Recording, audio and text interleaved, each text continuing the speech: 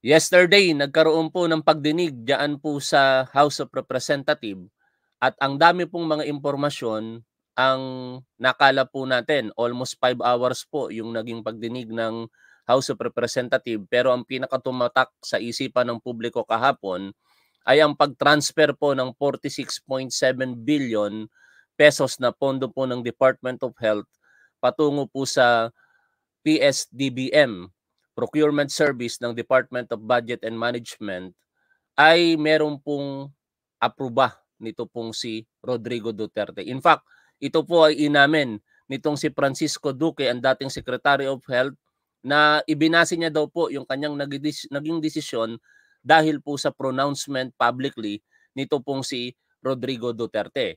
At ito nga po yung pinag-uusapan nating viral kahapon ano. Sabi po dito sa Manila Bulletin News, So it was the goal all along. Former Department of Health Secretary Francisco Duque III has told Solons that it was former President Rodrigo Duterte who ordered the controversial transfer of 40 ano ba yung tama? 46.7 billion? I-correct nga natin yan kasi nakalagay dito. Oh, I'm sorry, I stand corrected. Ano? Ako po ang nagkamali. 47.6 billion pesos from the DOH to the procurement service of the Department of Budget and Management for the purchase of COVID-19 supplies in 2020.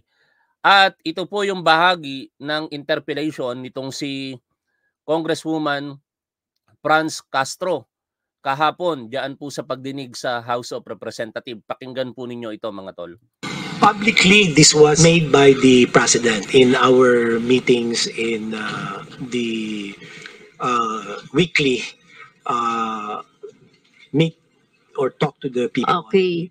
Iniutos ni dating Pangulong Rodrigo Duterte. Ito ang sinabi ni dating Health Secretary Francisco Duque III kaugnay sa kontrobersyal na paglipat ng 47.6 billion mula sa Department of Health sa procurement service ng Department of Budget and Management o PSDBM para sa pagbili ng mga supply para sa COVID-19 noong 2020.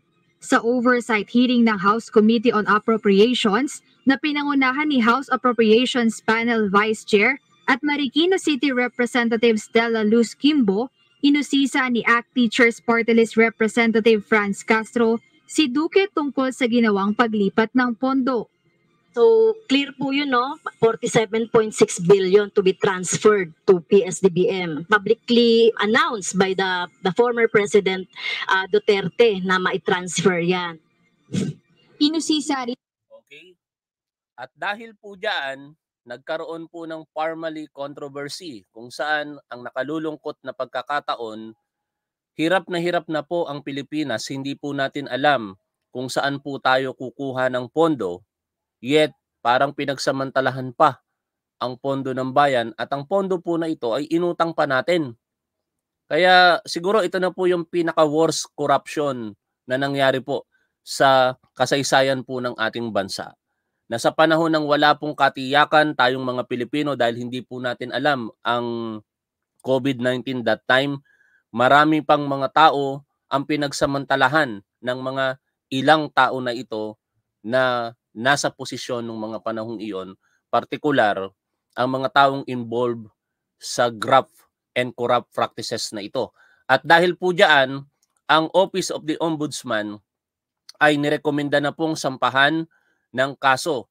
Ito pong si Francisco Duque at syempre yung tauhan ng mga Duterte na si Attorney Lau. Sabi po dito sa balita last month, May 12, 2024, Duque on graft indictment, COVID fund transfer legal. Yan po ang nagiging paninindigan ngayon nitong si Francisco Duque. Pero syempre yan ay matter of defense sa party po nila. Dahil sa pananaw po ng Office of the Ombudsman, meron pong sapat na pruweba o basihan at paniniwala na sila po ay lumabag sa Republic Act 3019 or yung Anti-Graft and Corrupt Practices Act. Basahin po natin ang sinasabi po dito sa balita. Manila, Philippines. Former Health Secretary Francisco Duque on Saturday said he would ask the Office of the Ombudsman to reconsider its ruling that found probable cause to indict him and former Budget Undersecretary Lloyd Christopher Lau for graft over the illegal transfer funds worth of, dito sa balita na ito, doon sa binasa natin kanila, magkaiba po yung figure pero ang mahalaga dyan, ang pinag-uusapan natin yung illegal transfer. Dito kasi sa balita nakalagay 41.46 billion pesos for the procurement of COVID-19 personal protective equipment in 2020. Marahil yung 47.6 billion, ito yung kabuuang pondo na tinransfer ng DOH sa PSDBM at ito ng 41.46 is particular lamang sa pagbili po ng mga personal protective equipment noong 2020. In a separate ruling, the Ombudsman also found Duque and Lau guilty of grave misconduct and conduct prejudicial to the best interest of the service, for which they were penalized with perpetual disqualification from or re-employment in government service and forfeiture of retirement benefits. May naalala lamang ako, isingit po natin yung nabasa kong post kay uh, for the first couple kanina. Let's connect the dots, sabi niya nga po dito. Basahin po natin ang uh, post na ito nitong si for the first couple. About an hour ago, sabi niya po, wala mang direct na magtuturo na nakinabang si Digong noong sa 47.6 billion pondo ng DOH na naitransfer sa PSDBM. Sino ba unang nagsamantala sa pondo? 'Di ba yung Chinese economic advisor niyang si Michael Yang at ang inirekomenda nitong Parmali at ang may hawak ng pondo ay si Christopher Lau na batang Davao din na inappoint niya sa PSDBM noong 2020. Si Lau na dati niyang commissioner ng Housing and Land Use Regulatory Board at naging undersecretary o Presidential Management Staff under Office of the Special Assistant to the President. Sino ba head dati ng Presidential Management Staff at Special Assistant to the President? Si Bongo lang naman. Kayo na ang mag-connect. Kaya ingat po tayo sa iboboto po natin sa senatorial election sa 2025 ha. Ngayon, balik po tayo doon sa binabasa po nating balita ulit kanina. Sabi po dito nitong si Duque, eh sila daw po ay magpa-file ng at nakapag-file naman na sila ng motion for reconsiderations. Pero naniniwala po tayo rito na ang desisyon na yan ng ombudsman ay final na at yan po ay aakyat po sa Sandigan Bayan. Ang Sandigan Bayan po kasi ang mga dumidinig sa mga kaso ng public officer na ang salary grade po ay mula 27 pataas. At syempre kabilang po dyan ng Secretary of Health na meron pong salary grade of 31 kung hindi ako nagkakamali at salary grade ng undersecretary na merong 29 o 30 yata ang secretary ano tapos 29 sa undersecretary. I-correct niyo na lamang ako kung mali po yung pagkakaalam ko doon po sa salary grade ng mga government official na atin pong binanggit. Ngayon, balikan po natin ang mga mahalagang impormasyon sa nakalipas po na panahon. Dito po, pag-usapan po natin yung timeline muna. Ano? Timeline kung bakit po nagkaroon ng mga ganitong kontrobersiya. Ano? Dito po sa balita ng politico.com.ph noong August 29, 2021, magbabalik tanaw po tayo rito mga tol. Ah. Meron po itong headline na Parmali Anomaly Timeline from Michael Young's meeting with Duterte to Christopher Lau's meltdown in Senate. Ngayon, bakit po natin binabalikan ito? Kasi kung wala pong illegal transfer as said by the ombudsman, wala sanang parmali mess. Wala sanang nanakaw na pondo ng bayan o illegal na paggamit ng pondo ng bayan sa panahon po ng pandemya. Kaya nga ang tanong po natin, dapat bang makasama din sa kaso itong si Rodrigo Duterte? I believe so. Kaso lang ang problema sa pagsasampa ng kaso, dapat kaakibat niyan ang ebidensya. Eh baka sabi ng ombudsman, sina Duque at Lau lamang ang nakasuhan, baka wala po talagang direktang ebidensya na nagtuturo dito po kay Rodrigo Duterte para po siya ay masampahan ng kaso sa paglabag sa Graft and Corrupt Practices Act. Kasi as stated kanina sa balita, eh publicly pronounced lang nitong si Rodrigo Duterte ang pag-transfer ng pondo mula sa DOH to DBM. Okay? Sabi po dito sa timeline na here's a timeline of the events that led to what Senator Panpilo Lacson described as not just plunder but large-scale corruption of state borrowed funds in the middle of pandemic. Yan ang pinakamasakit na katotohanan dito eh. Biruin nyo, malawakang korupsyon, malakihan korupsyon, tapos ang kinurap pa, inutang pa na pondo ng bayan. Doble bukol, ika nga. Biruin mo, magbabayad ka na doon sa inutang mo, tapos ninakaw lang pala o kinurap lang pala ng mga opisyales ng gobyerno. March 17, 2017. Ito po yung mga unang uh, panahon na na yung mga nasa likod ng Parmali di umano ay kung paano nakapasok sa gobyerno. President Rodrigo Duterte's economic advisor Michael Yang introduced top officials of Parmali International of Taiwan to the chief executive at a meeting in Malacanang, March 17, 2017 po yan. March 4, 2018, after, I am sorry, October 4, 2018, after almost or after a year, the president cleared Yang of alleged involvement in the illegal drug trade, saying that China's former ambassador Zhao Jinhua even slept in Yang's house. Kasi ito na yung mga panahon na itong si Michael Yang dinadamay po sa kalakalan ng illegal na droga. Yan po ang pagbubunyag kung matatandaan ninyo na sinambit nito pong si Kernel Acerto. At maganda po ngayon dito mga tol, napanood ko sa vlog ni Mike Abe kahapon, eh, itong si Kernel Acerto, ito po ay ipapatawag bilang resource person ng House of Representative. Pakinggan po ninyo ang balita na ibinigay po sa atin ni Mike Abe kahapon. Dalawa na palang komite sa Kongreso ang interesado sa issue ng human rights violation at tungkol sa illegal drugs ng nakaraang gobyerno. Isa po itong committee ito. Yan po si Congressman Ace Barbers ng Surigao. Siya yung chairman ng committee on uh, tungkol sa on illegal drugs okay, na nag-iimbestiga dyan sa isyong ito. Sunod ay uh, ang komite, ang Committee on, uh, ano isang komite? Committee on Human Rights ni Congressman uh, Benny Abante naman ng Maynila. Oh, I'm sorry, nagkamali ako sa sa pagkakatanda ko. Not only Colonel Acerto but Arturo Las Cañas. Ito pong si Arturo Las Cañas at si Colonel Acerto parehas po ang kanilang paniniwala na itong si Michael Yang ay isa sa mga nasa likod ng illegal drug syndicate nung mga panahon na nanunungkulan ito pong si Rodrigo Duterte. O balik po tayo dito po sa timeline na binabasa po natin kanina.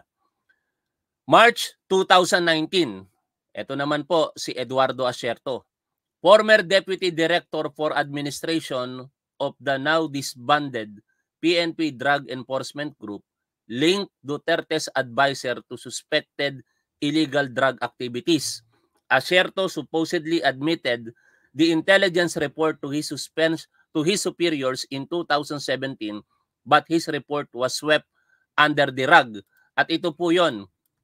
Hanapin po natin yung video. Acerto. Ito po yung video nitong si Colonel Acerto na sinasabi niya po na merong link ito pong si Michael Yang. Panoorin po natin muli mga tol. Before pa ng eleksyon ng 2016, lumabas yung ano, report na sa akin si Michael Yang.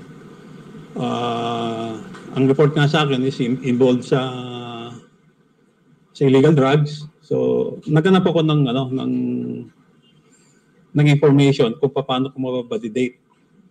Yung report nga sa akin is uh, involved siya doon sa Davao, sa Davao sa Davao uh, laboratory na Okay, balik tayo sa timeline. Yan po ay March 2019. After a couple of months, August 5, 2019, President Duterte appointed Wendell Abisado as Budget Secretary after Benjamin Jokno was named Governor of the Bangko Sentral ng Pilipinas. September 2019, Parmali Pharmaceutical Corporation filed incorporation papers with a paid-up capital of 625,000 pesos only. Take note of the capital. 625,000 pesos lamang po ito. Pero ang nakuha po nilang proyekto mula sa gobyerno ay nagkakahalaga po ng 8 bilyong piso. Kaya parang napaka hirap isipin na ipagkakatiwala ng ating gobyerno sa isang kumpanya na ang capital lamang ay nasa almost 700,000 pesos. On January 2, 2020, Budget Undersecretary Lloyd Christopher Lau was appointed officer in charge of procurement service, an attached agency of the Department of Budget and Management. Yon ang tanong ngayon. Bakit inappoint itong si Christopher Lau bilang budget secretary, undersecretary sa PSDBM? Sa bagay, noong mga panahong ito, wala pa namang COVID eh dito sa Pilipinas na na laganap kasi nagsimula ang COVID kung hindi tayo nagkakamalin lumaganap ay March na nung nilockdown na po tayo ng uh, ating gobyerno. March 9, 2020, President Duterte declared state of public health emergency due to the COVID-19 pandemic. March 24, 2020, President Duterte signed 275 billion pesos COVID-19 stimulus package which granted him special powers to address the pandemic. April 14 to June 10, 2020, Lao signed nine contracts awarding 8 billion pesos worth of contracts to Parmali. Yun yung sinasambit po dito na nakakapagtaka talaga bakit ang halagang 600,000 capital ng isang kumpanya ipagkakatiwala mo ang 8 billion pesos na proyekto ng ating gobyerno. The company supplied several supplies related to the pandemic, including personal protective equipment, surgical mask, face shields, and RT-PCR test kits. In a separate live streaming, tatalakayin po natin yung napaka-exorbitant napaka na, exorbitant pa. Napakamahal na test kit ano nung panahon ng pandemya. Halagang 8,000. Separate live streaming, talakayin po natin yan ha. Tuloy ko lamang po yung binabasa po natin dito. Second to the third quarter of 2020, Duque transferred 42 billion pesos from the Department of Health to the DVM He told senators during the August 27 hearing that this was done to fast-track the acquisition of supplies at dito po sila unang nagkaroon ng kaso. Yung binasa po natin kanina, no? Ito na po yun, no? Yung illegal transfer of public funds worth of 41.46 billion pesos for the procurement of COVID-19 personal protective equipment in 2020. Okay, tuloy ko po yung binabasa natin. June 2021, Lau resigned from DBM. June 21, 2021, Parmali bag is 774 million pesos contract from DPM to supply 17,000 RT-PCR test kits. At alam nyo ba kung magkano ang halaga? 8,000 kada test. Pero pag-usapan natin yan in a separate live streaming. August 2, 2021, Abisado went on leave from DBM after contracting COVID-19. August 12, 2021, the Commission on Audit plugs DOH inefficient use of over 67 billion pesos in COVID-19 funds, including 42.4 billion pesos deployed without proper documents and 11.9 billion unused funds for the purchase of medical equipment and supplies and hiring of additional health workers. On August 13, 2021, Abisado announced his resignation as DBM Secretary to recover from COVID-19. And the rest, hindi na po natin basahin kasi medyo irrelevant na dito sa ating pinag-uusapan. Pero dito po sa isang balita din ng Rappler, ito po yung mga listahan na dapat po nating malaman about this Parmali pandemic deals scandal. At isa-isahin po natin ito. Sabi po dito ng Commission on Audit Report on DOH Misuse and News Funds in 2020. Ito po yung listahan. Listed below are all the articles you need to read and videos you need to watch to brush up on the Parmali scandal. Group under the major topics that have merged emerged in relation to the issue. Hindi na po natin babasahin isa-isa ito pero kung gusto niyo pong palawakin ang inyong pong pananaliksik dito, ito po yung mga impormasyon na relevant. DOH poor use of 67 billion pesos COVID-19 funds led to missed opportunities ayon po sa COA. OPTEN ignored COA fuels pandemic outrage versus Duterte government. Audit reports made public for transparency. According kay Senator po, shouldn't ombudsman suspend Duque by now? Eh na po yung mga panahon na talagang ang panawagan kay Duque ay dapat nang bumitiw sa pwesto pero hindi po siya iniwan sa ere ni Rodrigo Duterte. Now we know kung bakit ganon ang pagtatanggol sa kanya nitong si Rodrigo Duterte dahil after all, si Rodrigo Duterte pala ang punot dulo ng lahat. Tuloy natin. Sabi pa po dito, naging emotional si Doke nung uh, kinumpront niya ang COA. Sabi niya, winarak nyo kami. Ang drama, pero may kasalanan naman pala sa pananaw ng ombudsman. Senators want expansion of risk allowance to include other health workers. Ayon naman sa Congress, if health workers did not receive benefits, that's fraud. That's corruption. House leader, everyone is suffering. Duque is not special. In short mga tol, sa lahat ng mga binabasa po natin ito, it boils doon lamang sa issue na si Duque hindi matanggal-tanggal sa panahon ni Rodrigo Duterte dahil pinaninindigan siya ni Rodrigo Duterte na maayos daw magtrabaho. Pero after all, ito pala ang dahilan na itong si Rodrigo Duterte ang pinaghugutan ng lahat ng lakas ng loob ni Duque para i-transfer without even documents na maaaring mag-support doon sa pag-transfer ng halagang 47.6 billion from the DOH to the procurement service ng Department of Budget and Management. Balik tayo ulit dito po sa binabasa po natin. Now, ito naman yung link nitong si Michael Yang sa Parmali. Isa-isahin po natin yung mga headlines ha. Biggest pandemic supplier has linked to ex-Duterte advisor Michael Yang. Michael Yang Associate expands business under Duterte presidency. Parmali had 625,000 capital before bagging 8 billion pesos in COVID-19 contracts. Michael Yang was Parmali's financier, guarantor to Chinese suppliers. Michael Yang denies financing Parmali. Not me, but my friends, according to Michael Yang.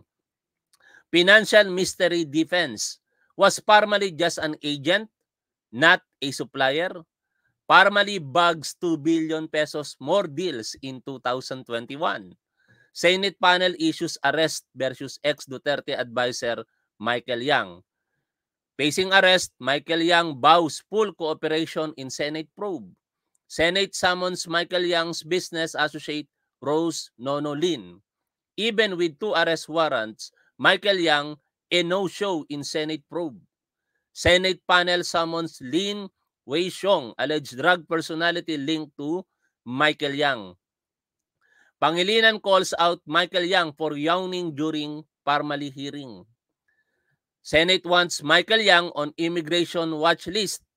Eduardo Asierto resurface offers to testify versus Duterte and Michael Yang. Lakas CMD revokes nomination of Parmalilink Quezon City Congressional Bet. Ito po yung mga headlines para mas maunawaan po natin kung ano po yung mga impormasyon sa likod po ng Parmali links na ito kay Michael Yang. At balikan po natin, ipagdiinan po natin ang aligasyon na ito nitong si Kernel Acerto. Kasi kung may katotohanan ang mga aligasyon na ito, aba, patunay ito na pinaka-worst president itong si Rodrigo Duterte ng Pilipinas. Dahil yung taong kanyang pinagkakatiwalaan, maaaring involved pala sa mga illegal activities, particular sa drug trade. Tapos, pinoprotektahan niya pa. Muli natin panoorin ang mga sinambit dito nitong si Colonel Asherto. Before pa ng eleksyon ng 2016, lumabas yung ano, report na sa akin si Michael Yang. Uh, ang report nga sa akin is involved sa sa illegal drugs. So, naghanap ako ng ano ng ng information kung paano ko mababalidate. Ang report nga sa akin is uh, involved siya doon sa Davao, sa Davao sa Davao uh, laboratory na labas namin. So nag-backtrack ako doon sa information na hawak namin before. Uh, fortunately, meron ako naku nakuha isang tao na merong involvement doon din sa ano, may alam doon sa Davao. So ang nakalulungkot lang ngayon dito nung panahon na ito na mas napasama pa itong si Colonel Asierto kasi kinasuhan siya eh. Tapos eventually kinatanggal niya po 'yon sa serbisyo. Pero imagine niyo na lamang kung bakit nagkaganon ang buhay ni Colonel Lacerto dahil po sa mga impormasyon na kanya pong isiniwalat sa harapan ng publiko. And we are hoping na yung mga pagkakamali na yan maikorek sa kasalukuyang panahon. Sana mag magpakita uh, muli itong si Colonel Lacerto, particular sa House of Representative at in hearing in aid of legislation, mapakinggan po natin yung mga impormasyon na maaaring mag-verify sa mga impormasyon na sinambit po sa mga nakalipas na panahon kung ito ba ay may katotohanan o wala. Ngayon, balikan po natin yung naging pagdinig kahapon sa House of Representative. Ito na po yung kahit paano dapat ma-appreciate natin ang opposition eh. Dito natin makikita na merong demokrasya sa bansa natin I am not uh, kumakampi ba sa opposition pero napakahalaga ng trabaho ng mga oposisyon lehitimo ang pinag-uusapan po natin dito para yung mga kilos ng nasa ekukutibo ay hindi po maabuso.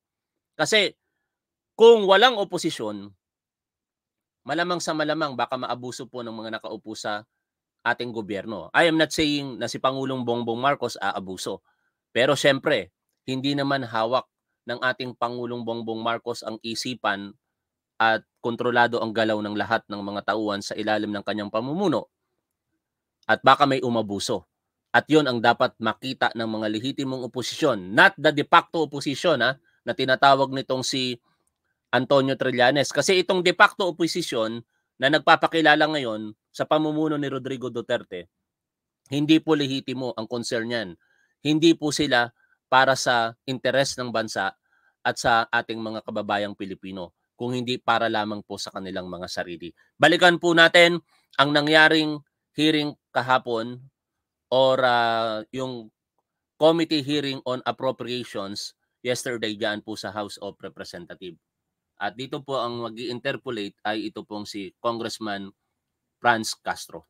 Ah, Madam Chair, diretso na po ako dun sa tanong ko no na last um, last meeting we discussed about the transfer of 47.6 uh, billion to PSDBM, uh, Mr. Chair, uh, Madam Chair. So I asked the DOH kung meron silang assessment or um, record or report about this, um, Madam Chair. And sabi naman nila, may, at saka kung merong natira pa dito, mamaya na sa PSDBM. So Yus, uh, Madam Chair, may I ask Yusek Bravo?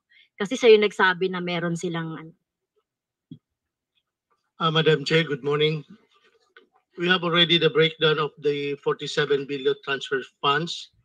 uh, out of the 47.6 billion, what was liquidated was uh, 46 billion.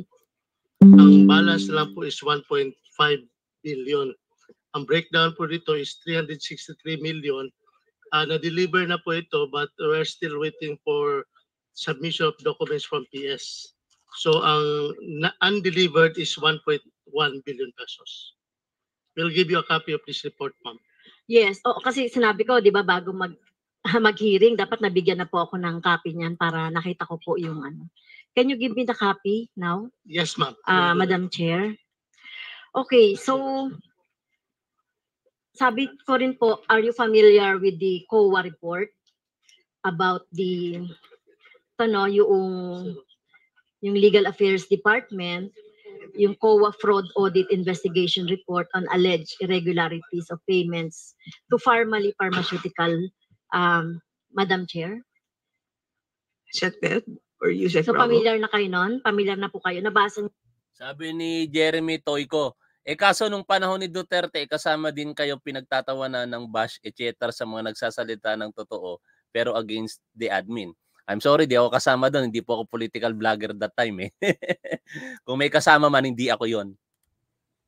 niyo na po. Madam Chair, I think our internal auditor is here. Who is our internal auditor? Kindly identify yourself.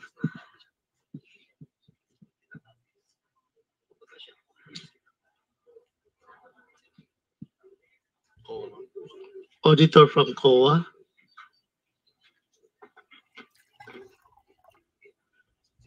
Good morning, Madam Chair. Um, I'm the external auditor of the Yes, Department of Health from the Commission on Audit. I am audit team leader, Attorney Neri Aspili. Um, Madam Chair, ah, tinatanong ko po yung DOH kung nabasa niyo na po itong ah, audit report ah, dated November 20, ah, November 16, 2023. So tanong ko po kay kay Secretary Arbosa kung nabasa niyo na po ito. Hin- Hindi pa ma'am. Ah, audit report.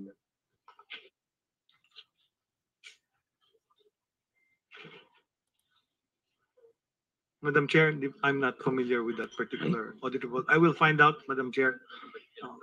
Ah, Madam Chair, sana po yung present um present na na setup ng ah, ng ating DOH dapat alam po ito kasi um lessons, marami po tayong lessons na magagather dito kay Mr. Chair. So paalala ko lang no, COA Uh, fraud Honorable audit. Franz Yeah, Castro, do you want to ask our COA representative if you are familiar with the report that the Honorable Castro has just mentioned?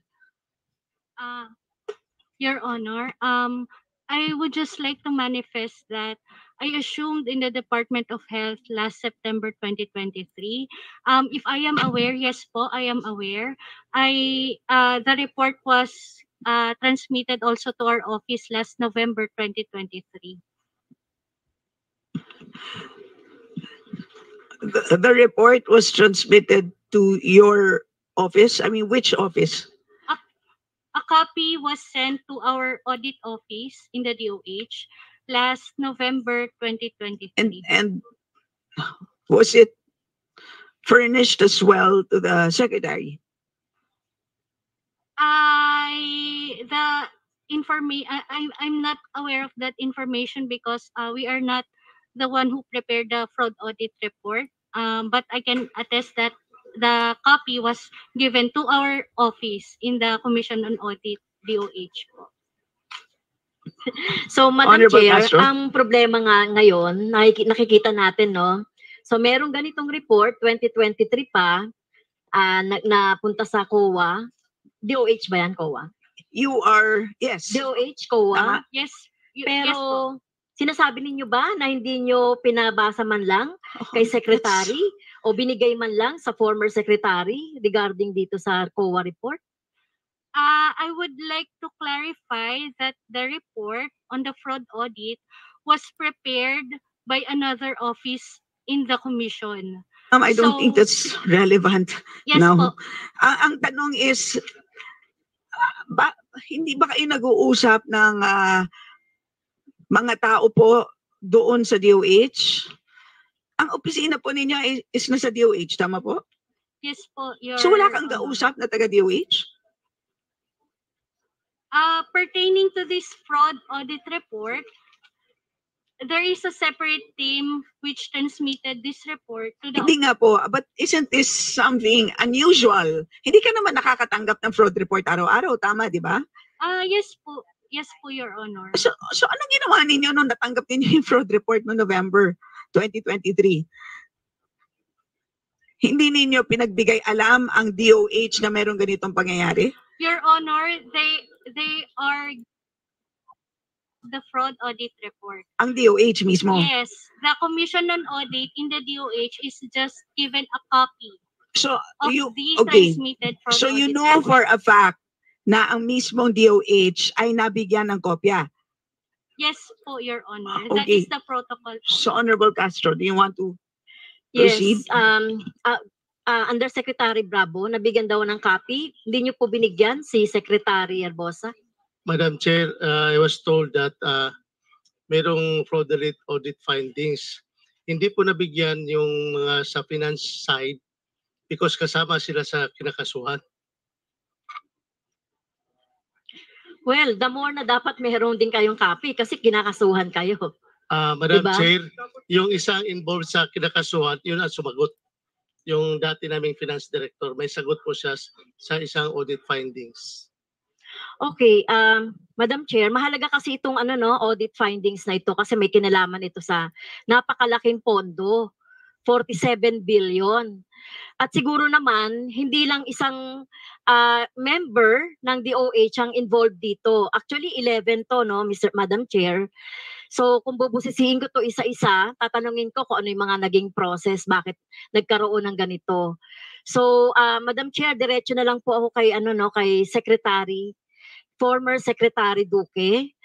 So you have transferred your office transferred 47.6 billion to PSDBM without the MOA. Tama po ba, Madam Chair? Ah, tama po. Ah, hindi po kami nag-MOA batay po sa PSDBM ah, Manual of ah, Procedures. Hindi daw po sila from the very start requiring MOAs for common use ah, supplies and ah, equipment. And the PSDBM is here, ah, Madam Chair, to ah, ah, perhaps ah, validate what I said. Okay, mamaya na po ang PSDBM. Marami rin po akong tanong dyan, Madam Chair. So, so walang MOA. So, ibig niyo sabihin, ipinagkatiwala niyo na lang po itong 47.6 billion sa PSDBM. Walang terms of reference between parties, including yung mga technical specifications or quality standards ng mga items to be procured, delivered, uh, or scheduled, and remedies in case of default. So basta binigay nyo lang po yan, para saan po yan? Ano pong mga, ano pong mga um, deliverables ang gusto ninyong mangyari dyan 40, sa 47 billion, ah, Madam Chair? Ah, Madam Chair, yung pong ah, transfer ng funds, ah, yan po ay batay sa lima o anim na batas. Yung ah, letter of ah, instruction uh, uh, 7 799 ah, EO ah, 359 yung ah, AO 285 reiterated twice in the General Appropriations Act Ah, At- yes, ah, Madam Chair, um, um, with due respect, ah, former Secretary, no, ang tanong ko po, yung 47 billion na yan, ay para saan yan? At ano-ano? Ano ba ang mga equipments? Ah, yan ba ay mask? Yan ba ay ah, COVID-19 um, um, paano man yung pangangailangan yan? So, wag wag po niyo po akong bigyan ng mga batas-batas na may kinalaman doon sa legality ng transfer. Ang tanong ko po ay kung ano po saan niyo po gagamitin yan o bakit ibinigay nyo ng buong buo. Sa PSDBM, wala man lang kayong MOA, wala man lang kayong nilagay na ano bang mga items ang kailangan ninyo, yung mga terms and condition, etc. Kasi alam ko po may mga standard din kahit na yung mask, kahit na yung face shield, kahit na COVID-19 um, uh, vaccine, di ba? Meron dapat yan. So, wala lang, binigay nyo lang dahil may ganyang ano, may ganyang pong ano, may mga sinasabi kayong batas po. Ah, At ang isa pa po, ito ay inauthorize ni President, former President Duterte. Tama. Oho, uh, in his uh, public pronouncements, uh, the uh, transfer was done because of the uh, public health emergency, which he declared sometime in March. Yung pong katanungan, ibalik lang po, Madam Chair, may listahan na po ang uh, procurement supply chain management ng DOH kung pwede po ang uh, Madam Chairperson to uh, instruct the uh, DOH uh, procurement supply chain to furnish a copy of all the items that were uh, procured with this uh, Yes. amount, uh, Yes. Madam Chairperson. Yes, thank you Madam Chair. Kasi sinasabi niyo po kasi former sec sinasabi ninyo dahil in ah, sinabi ito ng mga sinasabi niyo mga batas. Pero ang tinatanong ko po ay kung kayo mismo ang nag-order sa PSDBM ng mga ganitong items. So kay, sa inyo po ba nanggaling yung mga items na in-order o yung PSDBM yung nag-decide kung ano lang yung mga dapat na bilhin? Ah, hindi ho. Galing ho sa DOH kasi end user ho kami. So, yan po, may mga opi- opisina yan ang ng DOH po na nagbibigay sila ng kanilang mga pangangailangan sa panahon ng ah, pandemya. In fact, ang ah, binibigay po ng ah, DOH which I considered as de facto parang contract, yung agency ah, purchase request. Kasama po yan. Kasama din po yung listahan ng mga kinakailangan na common use supplies and uh, equipment, kasama po yung quantities, kasama po yung uh, price, kasama po yung technical specification na mula naman po sa mga iba't ibang mga opisina na may kakayahan na magbigay ng kung ano ba yung standards. For example, ang uh, uh, KN95 mask. Hindi naman po basta-bastang mask. Okay, Ano po. ah, maputol ko po kayo diyan, Madam ah, Madam Chair. Nakalagay kasi dapat dapat kung may MOA kayo, nandiyan yung mga technical specification. So sino po ba yung magbibigay ng technical specifications? Kasi kung MOA kung MOA 'yan, dapat na, nakalagay doon. So saan sino bang nagbigay ng technical specifications? Is it the DOH? Ah, yes, Your Honor. Ang uh, technical specification. Pero sinasabi po dito sa findings, Madam Chair, ng MOA, wala kayong technical specifications. Na, nakalagay dito, without MOA, which should set the terms of reference between parties, including the technical specifications or quality standards of the items to be procured. Ah, wala po kayong binibigay kasi wala naman kayong MOA. Ah, Madam Chair, um, excuse me for admin lang, nakapag-oath po ba Okay. So sinasabi nyo, wala po kayong MOA. So nakalagay sa MOA po, Madam Chair, nandun yung technical specifications. And then you are saying merong technical specifications na binigay kayo sa PSDBM kasi ang nakalagay dito sa report po, Madam Chair, ng COA ay wala. Ah, meron po ang technical specifications, binibigay po yan kasama doon sa atin na agency ah, purchase request. Kasama po yung ah, mga ah, quantities and ah, prices at ah, yan po ang ah, yung agency procurement Anyway, siguro naman napanood na natin lahat yan, ano? Pinakita ko lamang po sa inyo yung ebidensya kanina na inamin nitong si Duque na si Rodrigo Duterte by public pronouncement ang nag-authorize na i-transfer ang 47.6 billion pesos na yan na pondo from DOH to PSDBM. At yan ngayon ang pighati na pinagdadaanan nitong si Duque dahil last May 10, 2024, kinumpirma po ng ombudsman na sila po'y nag-file ng graft na kaso laban po dito kay Duque at kay Lau. Ito po yung bahagi ng 47.6 billion pesos. Ang bahagi na yan ay 41 billion pesos fund transfer. Basahin ko po Sa panghuli, ito pong ah, natalakayan natin, ito pong balita. The Ombudsman has ordered the filing of graft charges against former Health Secretary Francis Duque III and former Budget Undersecretary Christopher Lau over the alleged irregular transfer of over 41 billion pesos for the procurement of COVID-19 supplies in March 2020. At we are hoping na sa kaso na ito na kinakaharap ngayon itong si Francisco Duque, lumabas po ang katotohanan. At ang hangad po natin dyan, maparusahan ang dapat parusahan. Kasi ginawa po ang mga illegal na aktibidad na ito, panahon po ng pandemya, wala tayong kasiguruhan kung saan po tutungo ang ating buhay, mga nakakulong tayo sa loob ng ating mga bahay, tapos yung pondo ng gobyerno na inutang pa ni Duterte, eh mapapariwara lang pala dahil po sa mga diskarteng pinagagagawa nitong si Duterte at ng mga tauhan niya.